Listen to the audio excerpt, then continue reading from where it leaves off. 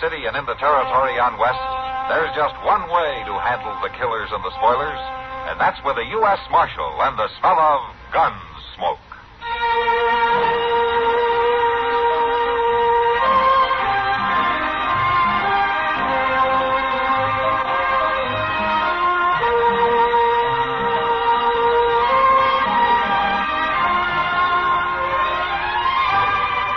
Gunsmoke, starring William Conrad. Story of the violence that moved west with young America.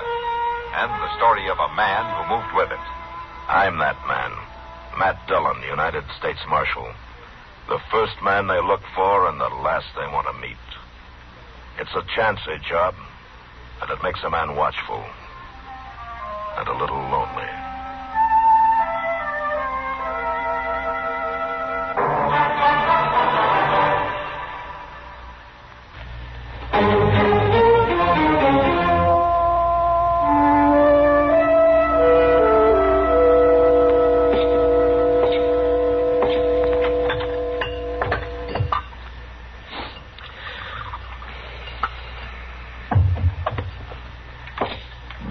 How could you get sweet talked into a spot like this? I, I just can't understand it. No, I think you've got it all wrong, Mr. Dillon. It's kindly honor. And I'm just proud to know, Doc. Oh, now don't listen to him, Chester. Just hold up that looking glass while I try this thing on. How's this? Uh, yeah, yeah, just a little bit to the left. Now hold it, hold it right there.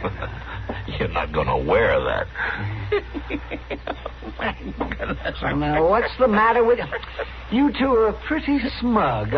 Well, now, Doc, you. Anyone with an ounce of brains knows that an umpire wears a stovepipe hat. Well, yes, but that's Arthur Meeker's undertaking hat. And it happens to be the only one in town. Looks like to me that Meeker's trying to promote a funeral. Uh, wait, let, let me look at this again.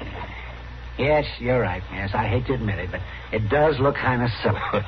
well, we've won one point anyway. Yes. Uh, Chester. Yeah, Doc. Maybe you'd step next door to the depot and see if anything came for me on the evening stage. Well, sure. Uh, what was you expecting? Well, I sent back to the Brooklyn Eagle for a copy of Chadwick's Rules. Rules?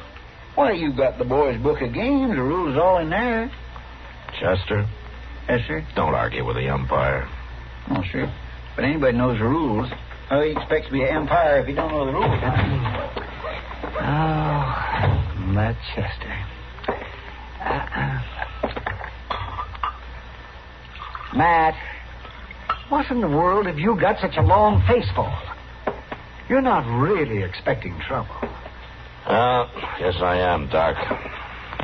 But why? I just can't seem to get it through your head that baseball isn't the same game you keep talking about. It's changed. Well, the rules maybe have changed, but it's still a gentleman's game. Why, back east, the Saturdays I spent watching the Knickerbockers and the Mutuals. But those were businessmen, Doc, playing for a keg of beer and a little exercise. These are professionals. I know that, but what about it? Look, even if you can keep the gamblers and the hoodlums and the drunks away, the the fanatics, the fans as they call them, are always stirring up some kind of a ruckus. And if none of them cause trouble, the chances are the teams themselves will start a free for all. Well, I'll admit we do have a few hotheads in town who might carry their loyalty a little too far, but I don't think. Oh, hello, Mr. Lindstrom. Hello, Marshal. Hey, Doc, why ain't you over there? Over where? At the Long Branch. Now, Lindstrom, why should I be at the Long Branch? The whole Eastern team is there, and we got to have our meeting with them. Well, that meeting's supposed to be at the Dodge House at 9.30, isn't it? And if you wait that long, you're going to have to stack 'em like cardwood and haul 'em there in the buckboard. Well, he was there all right. hello, Mr. Lindstrom. Oh, hello, Chester. And Chester, uh, did you get it? Yeah. Agent says it's been there for two days, and what you want? And never mind, never mind that. Just give it to me, please. Well, I was just telling you what the agent Uh, said. da- da- Lindstrom, you meet me at the Dodge House in 20 minutes. Where you going, Doc? Where do you think I'm going? Well, it's starting already. And I'm coming with you. Well, that meeting ain't supposed to be till Come on, Chester. We're going to the Long Branch. Uh, yes, sir, but I thought the Just come along. We're going to give Doc his first look at the Eastern All Star Professional Baseball Club.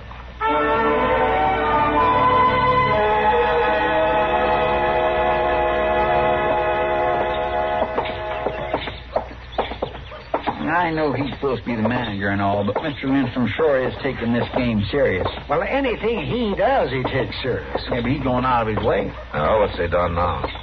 Uh, you know he went clear up to Fort Dodge last week. Yeah, what about it? He talked Colonel Whitfield into releasing four enlisted men for the game. He said they'd strengthen up the team. Players? Yes, sir. Four men he heard about that played with Duryea Zouaves during the war. Don't you hear that, Doc? Four men from that 165th New York infantry team playing for Dodge. I heard it, I heard it. It'll, it'll make it a better game. There's certainly nothing unethical about it. The All Stars take anybody from anywhere as long as they play good ball. Now, that may not be unethical, but it sure shows Lindstrom isn't thinking of this as just a friendly exhibition. Yeah, Matt, you're sure doing your best to scare me off. Now, Doc, I'm just trying to bring you down to earth. Maybe a look at the All Stars will do it. Come on.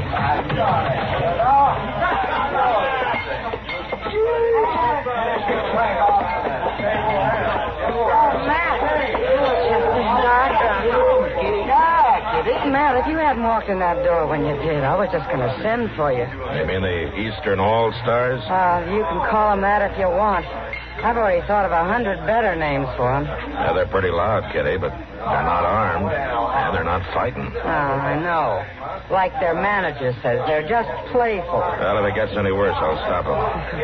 But I brought Doc over to take a close look at the gentleman athletes he's going to be umpiring tomorrow. Oh, Uh, how about finding us a table, huh? oh, sure.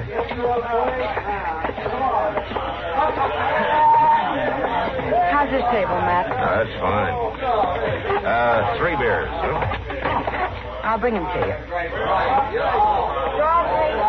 Well, Doc, now you just relax and look them over. My land, Doc. Them fellows sure do look rough and ready. I see how they look, Chester. You know, it's not too late to back out, Doc. I am not going to back out. Here you are. Three beers for three gentlemen. Oh, thank you, Kitty. Thank you. Oh, my land. Oh, look at that fellow over there. Why, he looks like he's been teasing a wild horse from behind with a sharp stick. Yeah, with that face.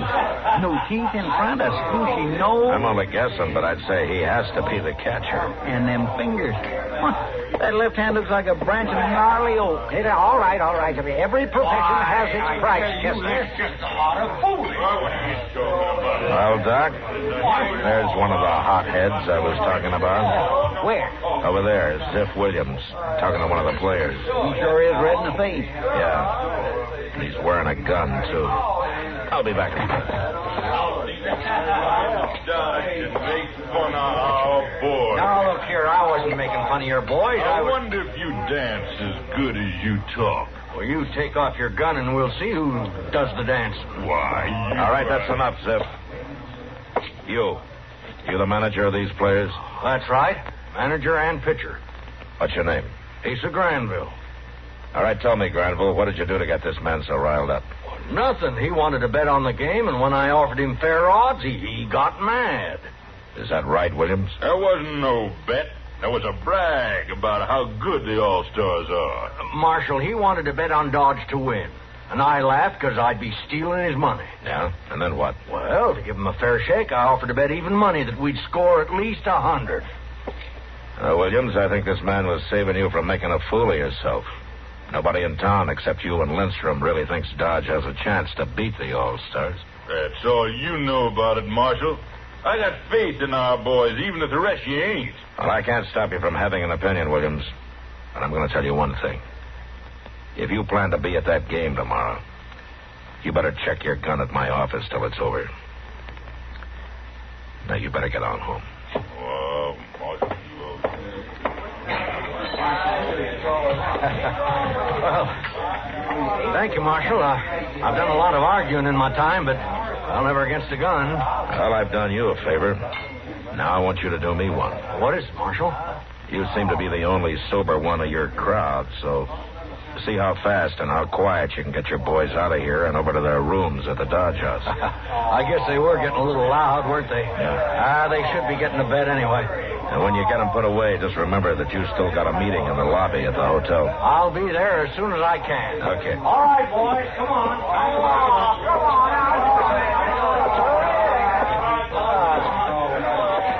Oh, Kitty, I think this place will start to quiet down in a few minutes. Thanks, Matt. Chester, Yes, sir?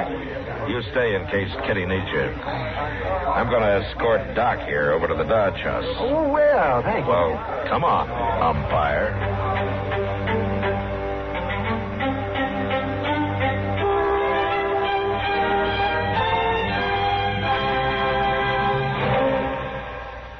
Your Columbia phonograph dealer has it. The new Sound of Pleasure, Stereo One by Columbia. Number one in the wonderful world of sound. Just wait until you hear the beautiful sound of true three dimension stereophonic high fidelity. It's a thrilling experience that makes all your records, stereo or regular, sound better. There's a complete selection of Columbia Stereo One phonographs, ranging from smart new portables to handsome single and twin unit consoles, crafted like fine furniture. And there's a Columbia Stereo One phonograph for every room, for every budget, and for every listening need. No matter what you want in stereo, Columbia has it. And your Columbia phonograph dealer is headquarters for Columbia phonographs. Portables are priced as low as $24.95, and elegant console models start at the amazingly low price of $129.95. See them all. Hear them at your Columbia phonograph dealer. Uh,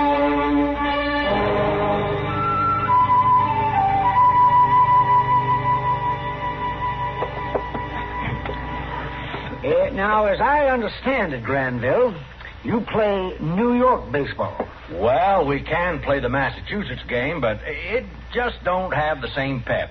And we play strictly a fly game. You mean the batter ain't out if the ball is caught on the mound? That's right. Oh, my, we've been playing that way for years now.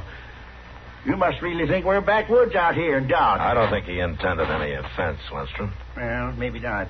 Uh, say, uh, now, Doc, uh, what about that uh, licorice ball? Uh, what about it? Well, it's Lem's best pitch. Do you Eastern fellas use it?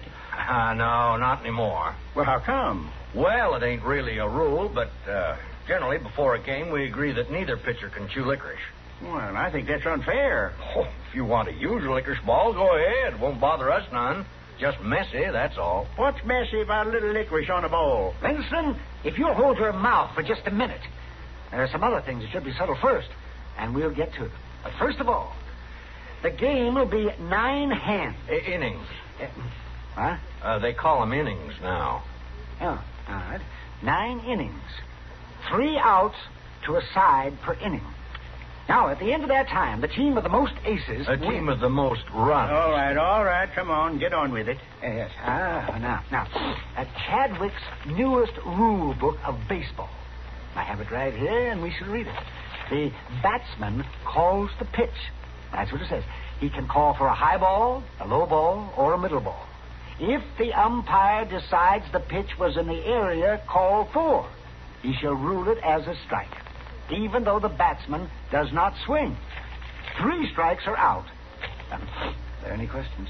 Well, not on that, but uh, what about that walk thing? Oh, the walk. Well, uh, I- I'd like to explain that, Doc, if you don't mind. Go ahead. Yes. Well, you see, we found the game was dragging, so the association passed a rule that if the umpire calls nine unfair balls against a pitcher, the batsman can walk to first base, and the next batter comes up. Oh, my, that, that sounds awful tough on the pitcher. Oh, they're even talking about cutting it down to eight balls next year. Excuse me just a minute, Jim. But Chester, don't just stand there in the door wiggling your fingers. If, if you want to see Matt, come on in. Well, I'm sorry, Doc. I'll uh, come out there, Chester. You go right ahead. Yeah, all right. Well, thank you, Matt. Yes, sir. Ah, now let me see. We will continue uh, reading here. The, the pitcher shall release the ball no closer than 45 feet from home plate. His feet shall be together at the time of the pitch. The elbow shall be stiff, and the pitching hand shall not rise above the belt. Are there any questions? Yeah, Doc, I got a few questions, and they're all for Mr. Granville. Well, go ahead. Do you or your players ever bet on the games you play? Why, of course we do. Do your players ever bet against themselves? What are you getting at, Marshal? Just answer my question. Well, we do not. I'm not talking about betting whether you win or lose. I know you've never lost a game. I'm talking about sucker bets. Why, you heard me turn down a sucker bet at that saloon.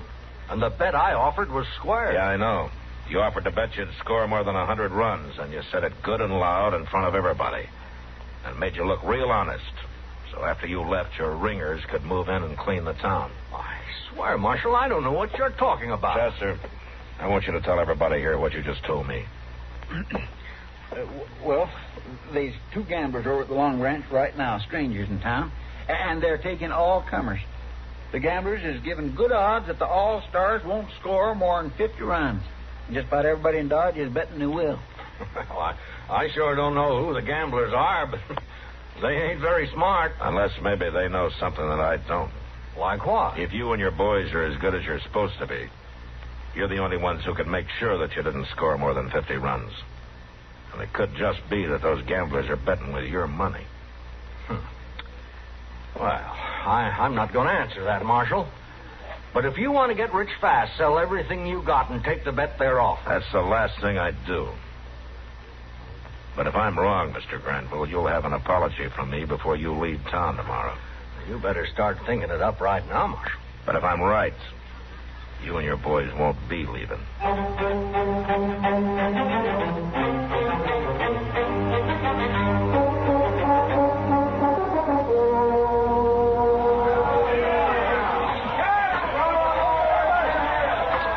Well, Chester, By jing, Mr. Dillon, I'm glad you're here. how's the game going? Oh see there? Pretty bad. Them all stars just ain't no good at all. In the three innings they've batted, Lem struck out seven of them. They ain't got a single run. How many runs for Dodge? Four, but we sure didn't deserve them, and we're going to get more. There ain't nobody out, and that Granville ain't pitching the ball nowheres near Willie Linson. Ball eight. I had to wait for an answer from St. Louis, or I'd have been here sooner. Did you find out anything about them gamblers? Yeah, plenty.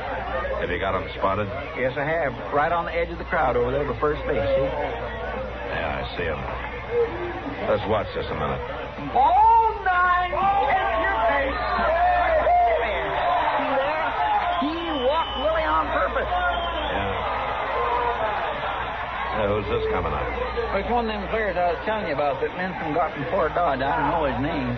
Tell me something, Chester. What? Don't these all-stars look to you like maybe they're scared? Well, they sure look kindly nervous. Now, that's the first real hit. Yeah, that's a good one, all right. At least two bases. That should score Willie easy.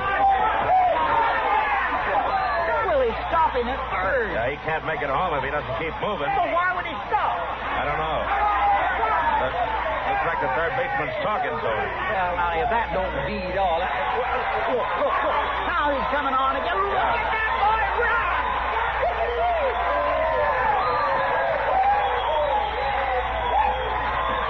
Want to talk to Willie. Come on.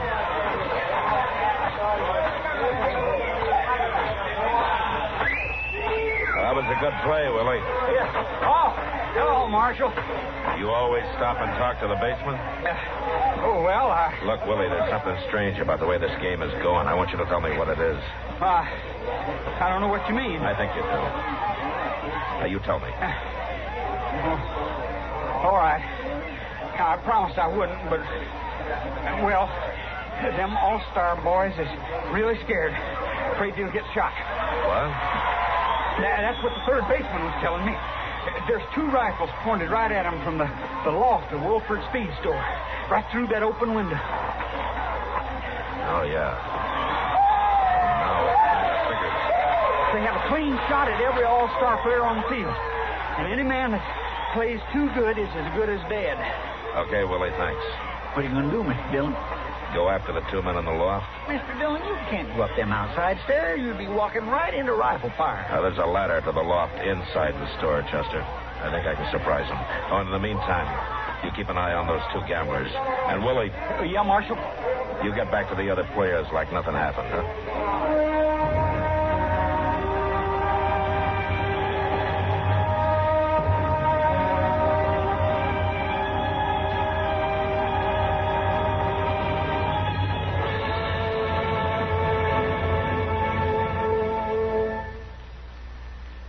A great premium is placed on speed. Speed of transportation, communication, of automation. In keeping with today's accelerated pace, it's understandable that millions of Americans prefer to hear the events of the day via radio, the swiftest, most concise news medium of all. CBS News maintains its top reputation in the field of news reporting and commentary. Skilled newsmen in our central bureaus of CBS News constantly monitor their many sources of news in this country and abroad, so each broadcast will be accurate and up to the minute. In addition to the many news broadcasts heard each day on CBS Radio, weeknights, veteran CBS newsman Lowell Thomas continues to bring you the colorful brand of news commentary that's long kept him one of America's most familiar, most popular voices on the air. Make it a habit to hear Lowell Thomas and the many more broadcasts of CBS News right here on CBS Radio.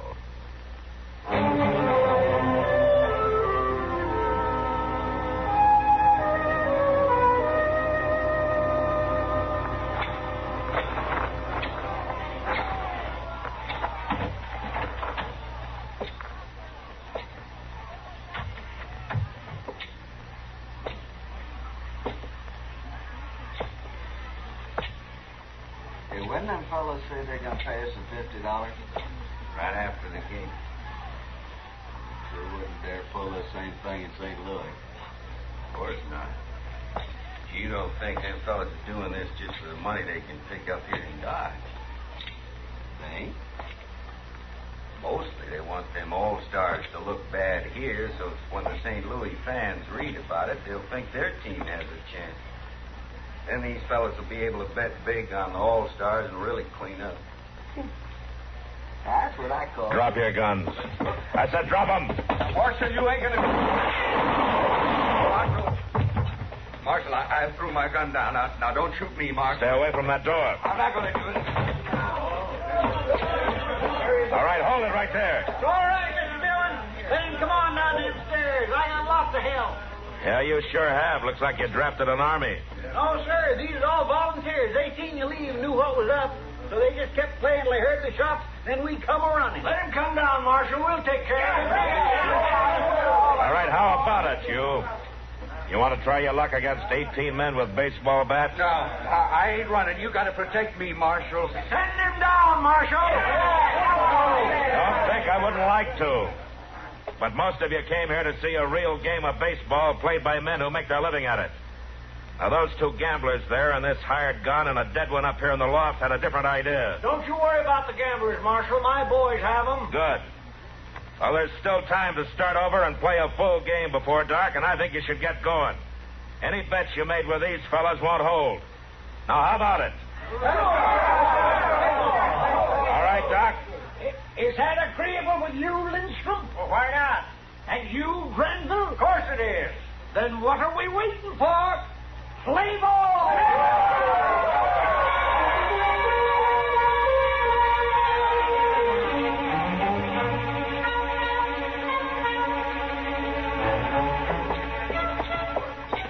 I sure am anxious to find out how poor old Doc's feeling this morning. Yeah, so am I. He looked pretty worn out by the time he was sober.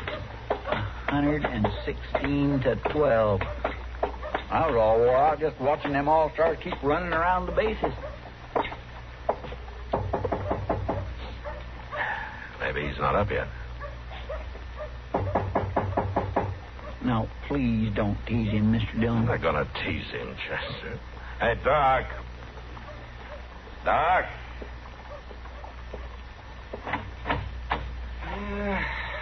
What do you want? Ah, good morning, Doc. We just want to make sure you was all right, Doc. I want you to get back to your jail attendant and leave me alone. Now, don't stand there with your back to us, Doc. We're not gonna laugh at you. Does it hurt much? Here, let's get that shade up and get some light in here. There we go. All right, now take the towel away. Oh. Oh. Ain't that a beauty? My, oh, my. I never seen so many colors. What, in these green and blue and purple and brown? Can you see out of it at all? Uh, not yet. Well, I had no idea them foul balls was that deadly. Ah, how's the one on your head? Here, let me see. It's right here. Ow, Oh. I'm sorry. I just barely touched it. At least the skin ain't broke none. Yeah, it's quite a knob, though, Doc. I'm sure sorry. Why should you be sorry? Well, I shouldn't have laughed about that stovepipe hat. If you'd been wearing it, you'd have one less bruise. Is there anything at all we can do? No, no, it just takes time. Yeah. Well, we got to get our prisoners fed, Doc. I'm taking all three of them up to Hays City this afternoon. But Chester will be here. And I sure will look in on you, Doc. Uh, Doc, I just got one thing to ask you. Uh, go ahead. Now that you're the proud possessor of Chadwick's newest rule book of baseball, uh, can Chester and I have your boy's book of games? Why, yes, if you really want. Oh, get out of here.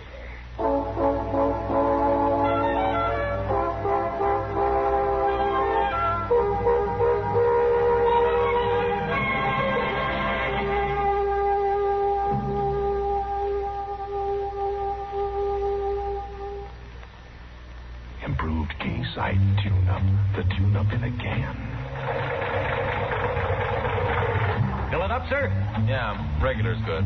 Say, that engine of yours sounds like real tired iron. Thanks. Improved Casite tune-up. The tune-up in a can. You got a valve sticking, too. Oh, what do you get to a gallon? Not much. Improved Casite tune-up. The tune-up in a can. Want a tune job? Haven't got time. You don't need time. How can a tune job not take time? Improved Casite tune-up, mister. One can in your gasoline and one can in your oil will clean your motor, your carburetor, your plugs. The works. And Casite tune-up will unstick those valves. Get you more power and smoother performance. Quicker starting, too. Okay, but how much? Dollar and a quarter a can. Results guaranteed or double your money back. Uh, would you start her up, please? Still sounds lousy. I haven't added it yet. Improved Casite tune-up. The tune-up in a can.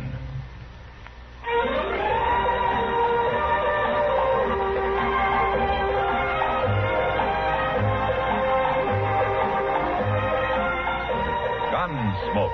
Produced and directed in Hollywood by Norman Macdonnell, stars William Conrad as Matt Dillon, U.S. Marshal. The story was specially written for Gunsmoke by Vic Perrin, with editorial supervision by John Meston. Featured in the cast were Joseph Kearns, Barney Phillips, Ralph Moody, Vic Perrin, and Harry Bartell. Parley Baer is Chester, Howard McNear is Doc, and Georgia Ellis is Kitty.